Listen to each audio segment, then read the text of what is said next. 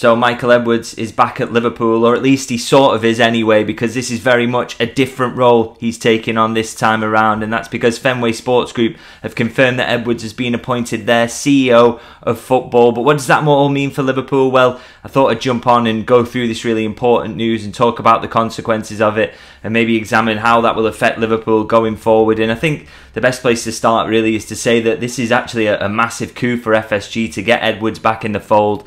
I say that because there's been so much interest around him in the years since he left Liverpool. He did such a good job, didn't he, as the, the sporting director at the club? He had a few roles before that, before eventually taking the reins as sporting director. And the, the job he did in terms of revolutionising how Liverpool approached transfers and bringing in Jurgen Klopp as well, of course, I think that was had a, a, huge influence in terms of his reputation, and he was widely known as one of the best executives in world football, really. And for that reason, no surprise that other clubs have tried to get him in to recreate what he did at Liverpool. Now, he turned down offers from Chelsea and Manchester United, which is, I'm sure, all Liverpool fans will be really pleased to hear that, and I'm sure you know that was partly down to, to some loyalty to Liverpool in terms of you know he'd spent a lot of time there and, and obviously has a lot of affection for Liverpool Football Club. But I also think that part of it was because he wanted to maybe do more when he, if he was to come back to football. He, he wanted to do, take on a role that was a bit more meaty, something he could really get his teeth stuck into, and that is what he's really been offered by FSG this time around. Now, in terms of his departure from Liverpool, you remember he left in, in May 2022, and it, you know there was a lot of sort of you know speculation at that time at why he would leave after you know having had so much success at Liverpool and achieved so much and he but I think you know reports at the time suggested and very much my understanding as well that there was you know part of that was down to yes he felt he'd achieved everything in the role he had but also there's maybe a little bit of conflict there between him and Jurgen Klopp. Now, you know, it, it's known really that as Jurgen Klopp got more success at Liverpool and did better, that his power in, in terms of influencing recruitment decisions very much increased. Now, that wasn't the case when he first came into the club. Uh, you know, Michael Edwards and his recruitment team were very much in charge of that, even though it was a, a collaborative thing that they worked together to make those decisions you know, it, it was more balanced in, in, in the start of things rather than later on when Klopp had got that success, maybe had a little bit more power to wield. I think a good example of this is the Mohamed Salah signing. Now, you'll have all read the stories uh, from a few years ago when, when Salah proved to be such a, a roaring success at Liverpool that you know, Jurgen Klopp almost had to be convinced to make that signing that, you know, Edwards and his team came with the data and said, look, uh, you know, one of the other players they were looking at, for example, is, is Julian Brandt, and, and, said, look at Mo Salah here, look at his numbers. We think this guy could come to the Premier League and be a, a, a huge success and could score a lot of goals. And obviously, Jurgen Klopp eventually accepted that advice, and, and he publicly admits that he, you know he had to be slightly convinced on that front, but was obviously very glad that he did with because he ended up with one of the best players in world football for the for the next few years. So you know that shows you really that it was a really you know it was balanced between the two very much at the start of the relationship. But as I say as Jurgen Klopp brought more trophies and success, maybe the power sort of lent towards him slightly. And I do look at maybe, you know, the, the, the Thiago Alcantara signing is one that always strikes me as one that maybe an Edwards wouldn't like to sign off with his age profile, his injury record. Um, you know, was he always a, a, very good fit for Liverpool's style of football? Whereas Jurgen Klopp has always spoke spoke about Thiago Alcantara extremely highly. And for me, the move from the Salah signing to the Thiago signing maybe just underlines that slight power shift that Liverpool had seen in terms of recruitment decisions, and part of the reason why Edwards was maybe a little bit dissatisfied and wanted to move on and, and, and try new things. Uh, one thing I would say about that is when I talk about Klopp getting more power around transfers, I would argue that it was arguably, you know, worth indulging. I mean, you look at everything he's achieved since, you know, and even this summer, I think is a good example of the fact that Klopp was worth indulging. I mean, you look at the Wataru Endo and Alexis Mac Allister signings and tell me that they are not Moneyball signings or incredible pieces of recruitment.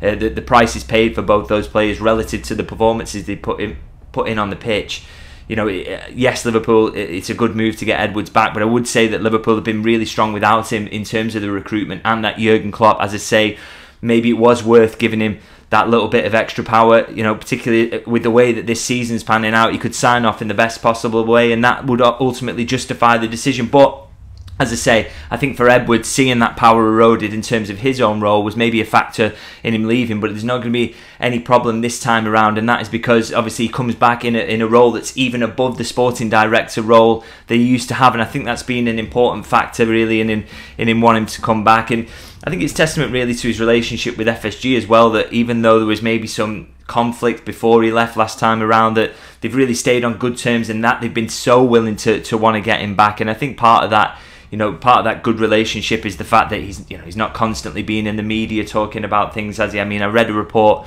uh, in the Boston Globe uh, last week that said that, that one of the things FSG really prize about Michael Edwards, and this really makes sense to me, is that you know he doesn't try to try to further his own interests in the media, and he's very much not that ki- kind of of character. Is he very much keeps himself to himself, not one to, to give out a lot of interviews. That's that's for sure, and I'm sure that will still be the way now that he's this CEO of football at FSG. Now, in terms of that role and, and what that encompasses, what's going to be expected of him going forward, I think the short term concerns at, at, Liverpool are quite obvious. The first port of call really is to get a sporting director in. I think we all know who that's going to be. It's Richard Hughes, who was previously at Bournemouth. He's going to leave Bournemouth at the end of the season and then we'll we'll rock up at, Liverpool. We expect his, his appointment as a sporting d- director to be confirmed before the summer, but that that is the expectation that Michael Edwards will install someone in his old role, and that is someone he knows well in Richard Hughes. And then, of course, the next port call after that is to then bring in a manager to replace Jurgen Klopp, the, the most difficult task of all. Now, FSG's statement touched upon this that putting in a new football operations element will be will be a big part of,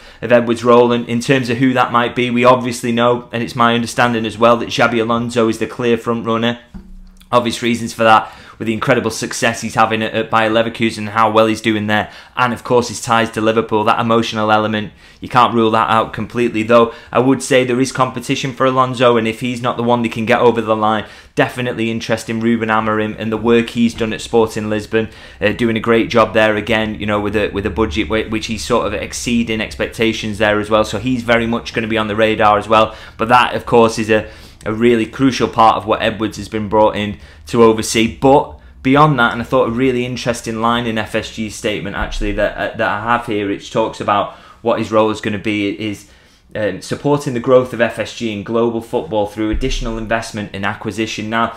That essentially means that, that Liverpool clearly are, are looking to, to expand, or FSG are looking to expand the amount of clubs they, they, they have in their in their portfolio, football clubs they have in their portfolio, and that, that Edwards is going to be the one to, to, to look out for, for potential investment opportunities. Now that that in fact Edwards actually says himself in the statement that that was a, a big reason for him wanting to come back because he, he knew that he would have this fresh challenge involved. He said as such, one of the biggest factors in my decision is the commitment to acquire and oversee an additional club, growing this area of their organisation. So he's obviously massively invested in the idea that Liverpool are going to go to this multi club model. And I, think that kind of comes as a little bit of a surprise, I must say, because of, of previous quotes we've had from Billy Hogan. He's been asked about that in the past, actually, about whether that would be something FSG would be interested in. And again, I've got the quotes here.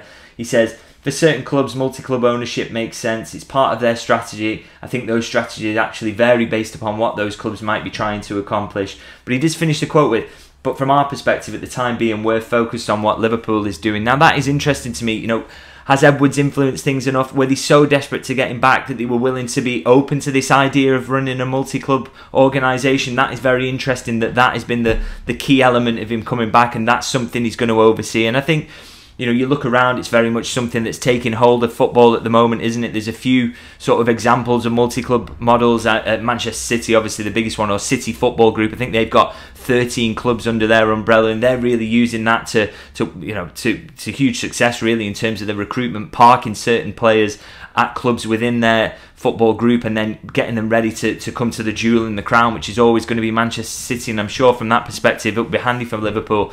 But there are other examples where maybe it's not going so well. I look at 777 partners who are now looking to, to buy Everton. Obviously, there's been some horror stories around them in terms of how things are, are working out. And, and obviously Chelsea with their Blueco group that that that it has recently purchased Strasbourg as well, the French side. Um, their fans are not particularly happy about essentially being a feeder club for Chelsea, which you can, you know, for an historic club, you can absolutely understand why that's the case. The one thing I would say is that I've no doubt if Liverpool do go down this route, and it very much looks like that's going to be the case, that it would be good for Liverpool. But I think there's going to be a, a really interesting debate around whether that is good for football. It's in terms of the long term on that as well. Actually, there's going to be um, FIFA and, and UEFA have spoken about in the past that they are really looking at this you know the effect it has on football, whether it's bad for football, whether they have to legislate against it in any way, or you know how they control clubs, various clubs who are competing in similar competitions. For example, if Girona get to the, the, the Champions League this season, as will be expected in Spain, you know, do they come up against Manchester City? Is that a conflict of interest? That is something that, that UEFA and FIFA are looking into, and something Liverpool, if they do go down this route, or FSG rather, um, is, is, something they're gonna they're gonna have to really sort of examine and, and, be careful around. Because if you, UEFA and FIFA have essentially ruled this out, then the whole part of the reason, or a big part of the reason for Michael Edwards coming back is is going to be blown out the water. So that's a, a, a really interesting one. And, Another aspect to this I actually want to touch on as well before I finish up is it'd be interesting to see what this all means for, for Mike Gordon. Now, he has very much been in the FSG ownership group the the main number one link really between Boston and Liverpool, the one who's been most concerned with with FSG's football uh, interest in Liverpool, and he's been the main link to, to Jurgen Klopp and and previously Michael Edwards when he was the sporting director. Now he you'll remember he stepped away last season to examine or briefly to examine the possibility of a sale of Liverpool.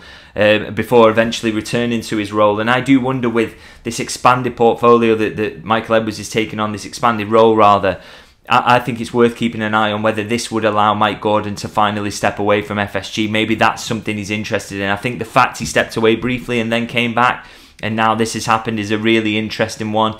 Um, and, and, as I say, one to, to really keep an eye on, and whether that is Mike Gordon's opportunity to maybe step away from FSG, maybe even retire um, and, enjoy time away from the, the, the, you know the busyness that's around running FSG, and and then whether that gives Edwards the opportunity. His role then is to essentially replace Mike Gordon. Really interesting one, I think, to, to keep an eye on. Now, obviously, these these are the long term concerns. Mike Gordon's future, this multi club uh, model that Liverpool might be going down, but of course, as I say, the short term real concerns to Liverpool are what they do around the sporting director to get that signed off as soon as possible, and then of course the manager, and then a summer where that manager will want to do uh, some transfer business, I'm sure. And it kind of reminds me actually going into this summer. I wrote a piece for This Is Anfield touching on this uh, analogy really that you know, Liverpool going into this summer, they, they're about to lose Jurgen Klopp. It's a big moment for them, and it reminded me of a scene in, in Moneyball, a great film with Brad Pitt. You must still watch it if you haven't seen it, which talks about the Oakland Athletics and Billy Beane and his role in, in revitalising them. And we know that Fenway Sports Group were very interested in Billy Beane and his analytics model and the way that he approached recruitment in baseball because they attempted to get into the Boston Red Sox, and two years later, actually, after being turned down by him, they were they uh, eventually went on to win the World Series for the first time in 86 years using a very very similar model. So we know that Moneyball is something they're into and it reminded me of a scene from that as I say where you know Brad Pitt his character he's playing Billy Beane, says uh, uh, about the Oakland Athletics he says to the scouts we're about to lose Jason Giambi who's one of their really good players really important player for them and he says look we can't replace him with the budget we've got. It's impossible to do. But what we can do is recreate him in the aggregate, which is essentially get three players who uh, uh give you the same things uh, as Giambi did for, for the Oakland Athletics, and so not replace him with one player, but try and replace what he brought to the team with three people. And it very much reminded me of the situation Liverpool find themselves going into this summer. Jurgen Klopp is an absolute genius. I think we've seen that over the last few years. But what Liverpool will look to do with appointing Michael Edwards, Richard Hughes next, and maybe Xabi Alonso after that, or that is certainly the aim, can they recreate Jurgen Klopp in the aggregate? Well, I think that this appointment of Michael Edwards is very much the first step towards that. Let's see if it works out.